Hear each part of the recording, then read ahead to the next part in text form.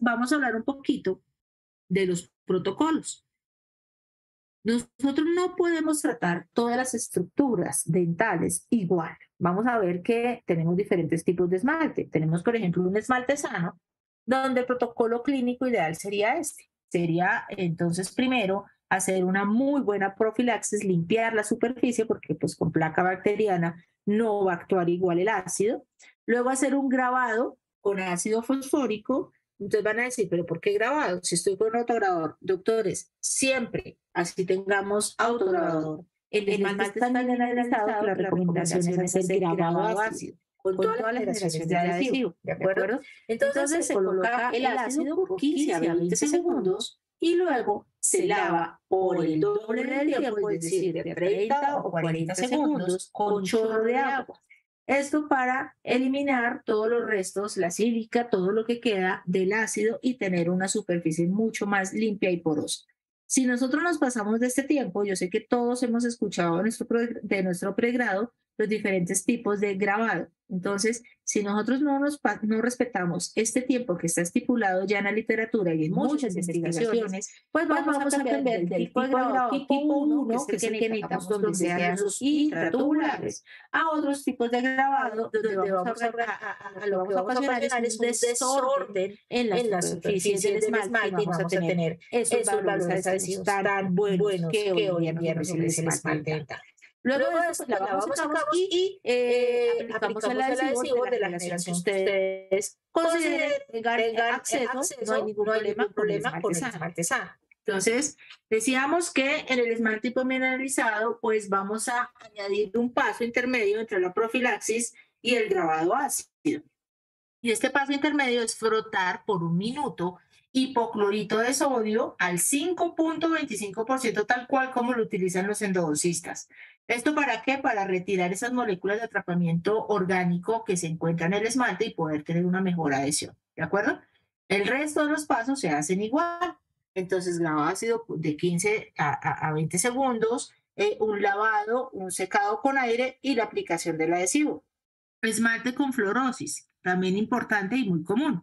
El esmalte con fluorosis vamos a dar un tratamiento especial. Vamos a clasificarlo según, eh, según su severidad y vamos a hablar que hasta un TF3, acuérdense que ese es el índice de medición de la fluorosis, pues vamos a tener que hacer un tratamiento previo donde va a estar acompañado de una microabrasión, una aplicación de hipoclorito de sodio durante un minuto, frotándolo, ¿sí? Lavar y la aplicación ya del ácido no por 20, sino por 30 segundos.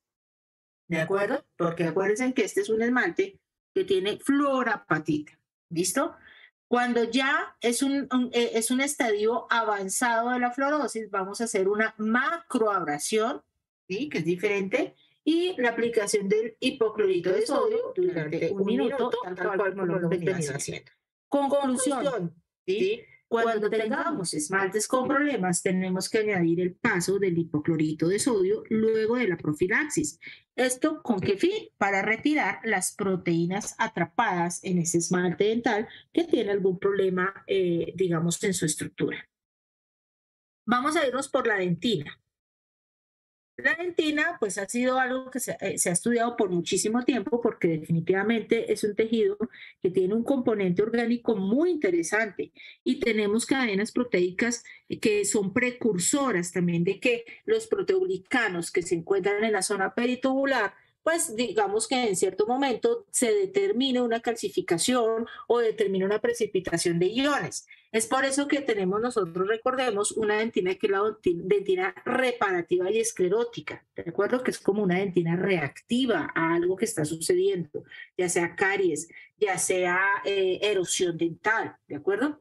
Y eh, pues obviamente estos cambios estructurales, como se ha estudiado muy bien en la en bioingeniería eh, tisular, pues digamos empiezan a causar algunos cambios de sustrato. Es por eso que también la dentina se debe tratar de manera diferente. Entonces, para la dentina sana, tenemos dos protocolos que pueden ser utilizados según el tipo de dentina. Si es dentina superficial, vamos con el ERA superior, donde hablamos de un grabado selectivo por 5 segundos, 5 segundos solamente luego lavado y secado, aplicación de clorexidina intraoperatoria, no la clorexidina un enjuague bucal, la que es al 2%, una aplicación de dos minutos, puede lavar y sacar y luego colocar cualquier adhesivo que eh, se requiera de grado total que, que nosotros tengamos a la mano.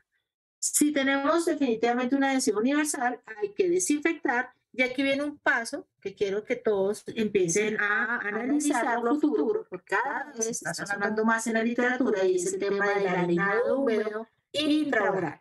Esto hace, incluso yo lo utilizo hace ya unos tres años, desde Colombia, este equipo regula la presión con la que sale ese harinado. Y esto ha hecho que yo ya la calle, soluciones cariñosas, la retire solamente con harinado húmedo y no necesite fresa. ¿Para qué? Para conservar ese tejido que no se ha dañado. Está demostrado que definitivamente la fresa pues quita mucho más tejido del necesario y pues todo lo que se logre conservar es absolutamente valioso.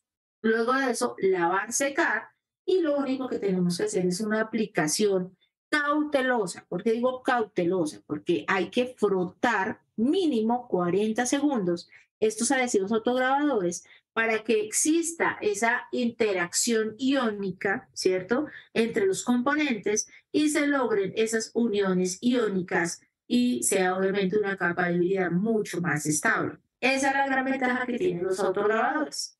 Pero ¿qué pasa si tenemos la dentina esclerótica, la que es reactiva, la que hablábamos hace un rato?